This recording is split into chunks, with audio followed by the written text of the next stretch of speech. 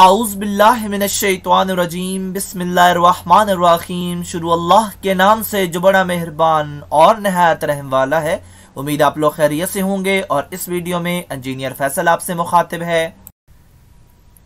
आप देख रहे हैं पाकिस्तान का सबसे बड़ा channel chemical engineering edge tech जो कि केमिकल इंजीनियर्स और डीए केमिकल के स्टूडेंट्स के लिए तैयार किया गया है। इस चैनल में केमिकल इंजीनियरिंग के मुख्तलिफ़ सब्जेक्ट्स जिसमें industrial chemical process industrial stoichiometry chemical engineering organic chemistry mathematics engineering informatic topics के अलावा इंडस्ट्रियल इंटरव्यूज़ के लिए शॉर्ट क्वेश्चन आंसर के लेक्चर्स भी शामिल हैं। आप मेरे चैनल को सब्सक्राइब करेंगे तो मेरी हर लेटेस्ट वीडियो आपको मिलती रहेगी। हमारी आज की वीडियो का टॉपिक है डीए फ़र्स्ट ईयर की मैथमेटिक्स एक्सरसाइज 1.3 है क्वेश्चन नंबर नाइन है। इसकी स्टेटमेंट में हमें दो रूट्स दिए गए हैं अल्फ़ा बीटा इसके अलावा हमें एक इक्वेशन दे दी गई है और इस इक्वेशन का हमने क्या करना है? यहाँ से ए बी और सी की वैल्यूज़ को निकालना है। ए की वैल्यू पी बी की वैल्यू क्यू और कॉन्स्टेंट की वैल्यू आर आएगी।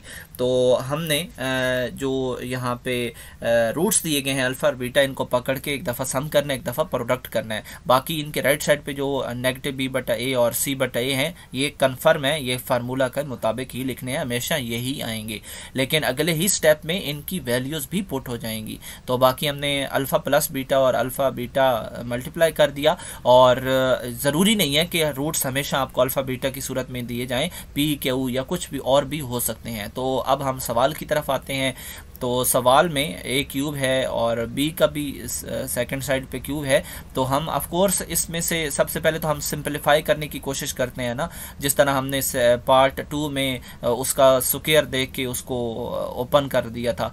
तो यहाँ पे भी हमने कोई सुकेयर तो नहीं है, लेकिन यहाँ पे हम कॉमन ज़रूर ले सकते हैं, कॉमन हमने ले लेना है। और यहाँ पे फिर वही क्वेश्चन वन और क्वेश्चन टू की सिचुएशन बन गई है। कैसे बन गई है? यहाँ पे आप अगर हिंट में देखें तो alpha square plus beta square तो हमने इसका एक तो होल बना दिया था और ख़ुद से साथ नेगेटिव टू अल्फ़ा बीटा भी लिखा था, ताकि हमें इस ऊपर वाला जो रेडिश रिलेशन है, इसमें आप देख सकते हैं कि alpha square plus beta square plus two alpha beta और खुद से हमने नेगेटिव टू अल्फ़ा बीटा डाला ताकि ये दोनों कैंसिल हों और हमें वापस alpha square plus beta square recover हो जाए।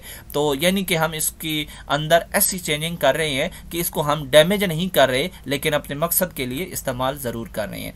तो यहाँ से बिल्कुल यही आप उठा के अगर यहाँ पे लिख सकते हैं तो लिख दें। तो इसके बाद हमने जो है वो इसकी वैल्यूज़ फ़ीस में फ़ीड करवानी है। अल्फ़ा प्लस बीटा डेटा यानी सम की भी हैं प्रोडक्ट की भी हैं, और वो वैल्यूज़ ऊपर यहाँ पे हमने पहले, सबसे पहले वही फाइंड की हैं।